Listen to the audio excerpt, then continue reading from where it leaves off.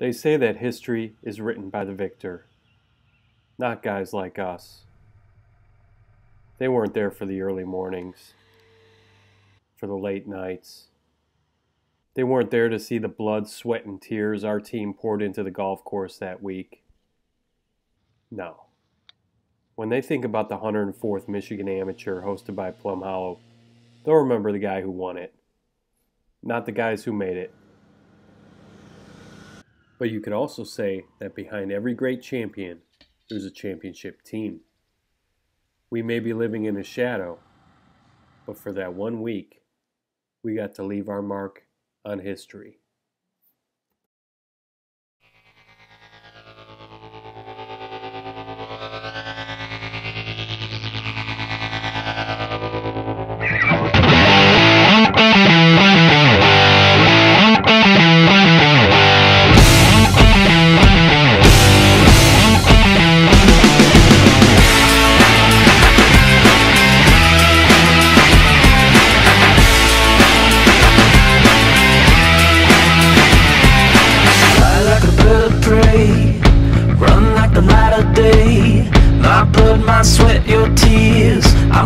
fuck